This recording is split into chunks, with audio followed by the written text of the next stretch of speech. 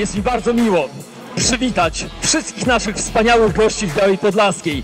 A proszę pozwolić, że w imieniu, mam nadzieję, że nikogo nie pominę. Cieszę się, że są z nami przyjaciele z Suwałk, z Warszawy, z Zakrętu, z Garwolina, z Lublina i z Łęcznej. Przede wszystkim bardzo dziękuję naszym bialskim klubom. E, Pani trener Katarzynie Biegajło, prezesowi Akademii Szaka, organizatorowi dzisiejszych ogólnopolskich zawodów, e, drugiemu ze współpracujących bialskich klubów Akademii Sportów Walki. To dla naszej miejskiej społeczności powód do dumy, e, że organizujecie kapitalne zawody, że kształcicie zdrowo i mądrze, sportowo, także wychowując naszą bialską młodzież, e, że nawiązujecie relacje, że dzięki organizacji turniejów zapraszacie do Białej przyjaciół z całej Polski. Ale przede wszystkim chciałbym podkreślić, że jesteśmy dumni, że także w obszarze całego kraju promujecie Białą Podlaską, rozpoznaje twarze naszych młodych mistrzów, którzy regularnie zdobywają najwyższe laury w imprezach e, ogólnopolskich rangi mistrzowskiej. Jeszcze raz bardzo dziękuję wszystkim za odwiedzenie Białej Podlaskiej. Cieszę się, że młodzież i trenerzy spełniacie swoje marzenia, ale chciałbym przede wszystkim podkreślić, że nie liczą się najbardziej te mistrzowskie tytuły. Najważniejsze, że tym dzieciakom zapewniacie zdrowy, mądry rozwój, że sporty sztuki walki przede wszystkim wychowują jak ta zjawiskowa dyscyplina brazylijskiego jiu-jitsu. Bawcie się pięknie, mądrze, zdrowo i spełniając swoje sportowe marzenia.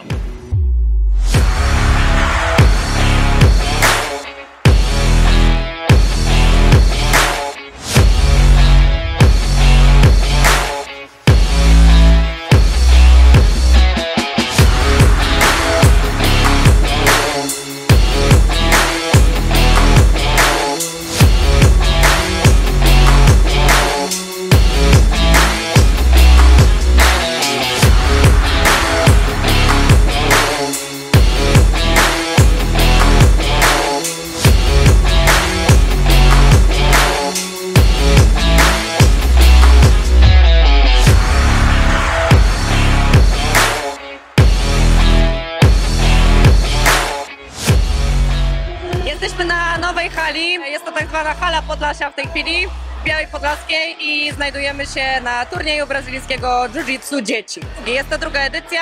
Pierwszą zorganizowaliśmy w październiku, drugą robimy teraz i raczej będziemy robić raz w roku. Dwa razy w roku wydaje mi się, że to jest troszeczkę za dużo.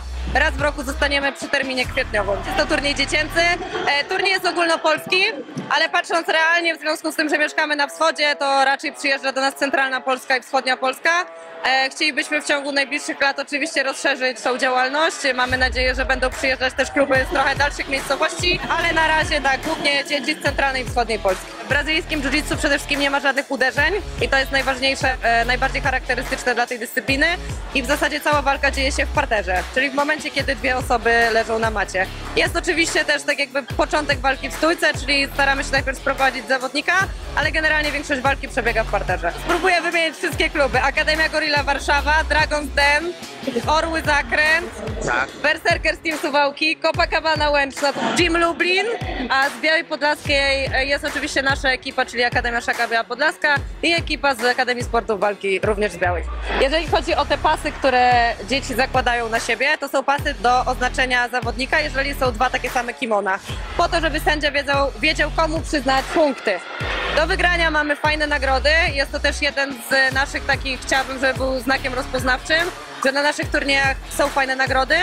I nagrody przede wszystkim zawdzięczamy naszym sponsorom. W tym roku na tej edycji jest to przede wszystkim Studio Kosmetyczne Sako i Dąbrowska Headspace. Te dwie firmy wsparły nas i ufundowały nam nagrody, za to oczywiście bardzo dziękujemy.